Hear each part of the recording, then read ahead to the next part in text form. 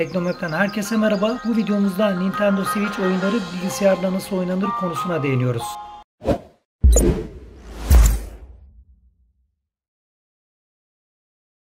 The Legend of Zelda, PC sürümü bulunmayan Red Dead Redemption 1 gibi Nintendo Switch oyunlarını bilgisayarımızda oynayabilmemiz mümkün. Bu amaçla ismini doğru telaffuz edemiyor olabilirim. Fakat Rujings adlı Nintendo Switch emülatörünü kullanıyor olacağız. Emülatörü ücretsiz bir şekilde kendi internet sitesi üzerinden indirebiliyoruz.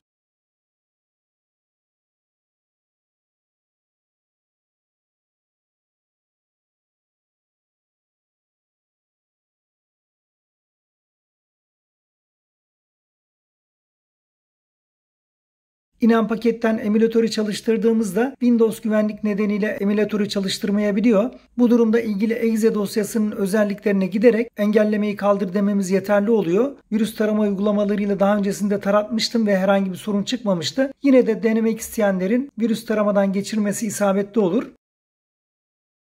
Emülatör ilk açıldığında Rio Case Not Found uyarısını alıyoruz. Bu uyarıyı şimdilik tamam diyerek geçiyoruz. Emülatörün Türkçe dil desteği bulunuyor. Bu da önemli bir artısı. İlk adım olarak biraz önce hataya sebep olan key dosyaların eksikliğini gidermemiz gerekiyor. Bunun için dosya menüsünden Reusings klasörünü aç seçeneğini kullanarak sistem klasörüne giriş yapıyoruz. Daha sonra açıklama bölümünde bağlantı linklerini bulabileceğiniz oyun paketi dosyalarının içerisinden Protkeys zip paketinin içerisine girerek buradaki iki dosyayı sistem klasörüne kopyalıyoruz.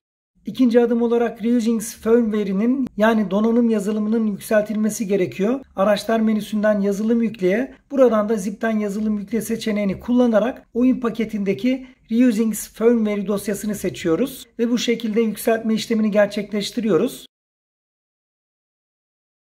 Üçüncü adım olarak oyunu emülatöre tanıtmamız gerekiyor. Bunun için seçenekler menüsüne gelerek buradan oyun dizinleri bölümünde ekle diyerek Red Dead Redemption 001 NSP dosyasını içeren üst klasörü seçmemiz gerekiyor. Bu işlem sonrasında ana ekranda artık Red Dead Redemption 1'i görebiliyor olacağız. Artık tüm işler tamam. Fakat oyunu klavye ve fare ile oynayamadığımız için mecburen bir gamepad kullanmamız gerekiyor. Bu yüzden GameSir markasının bir gamepad'ini kullanacağım. Seçeneklerden giriş yöntemine gelerek buradan kullanacağımız gamepad'i belirliyoruz. Grafik seçeneğiyle ekran kartı ve çözünürlük ayarlarını yapabilmemiz mümkün. Testleri RTX 2060'a sahip bir notebook bilgisayarla yapıyorum. Düşük grafik kartlı sistemlerde ciddi kasmalar olabiliyor.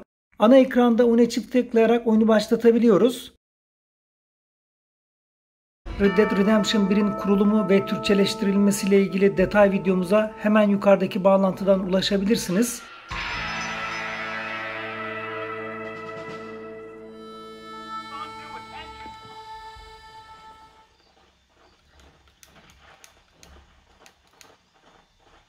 Yine Nintendo Switch'in önemli oyunlarından biri olan The Legend of Zelda'nın da oyun dosyalarını internetten bulduktan sonra oyunun XCI dosyasının bulunduğu klasörü emülatörün oyun klasörüne eklememiz yeterli oluyor. Artık The Legend of Zelda'yı da bu şekilde oynayabiliyoruz.